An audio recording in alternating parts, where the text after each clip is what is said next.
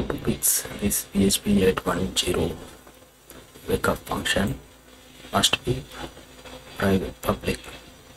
So if you are upgraded from PHP 7.4 to 8.0, so this problem may occur. So you have to just change the this function visibility private to public. This otherwise you can downgrade to PHP 7.0 7.4 so you can install same then listen to this.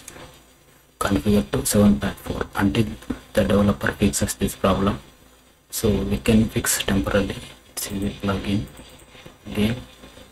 WP manager it's Google Analytics plug plugin. So I'm going to the problem is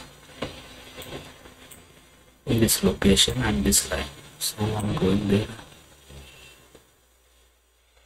So i'm already to this location.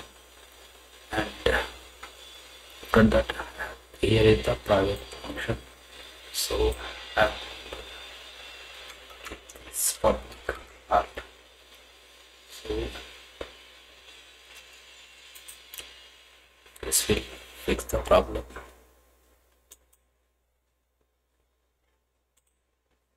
so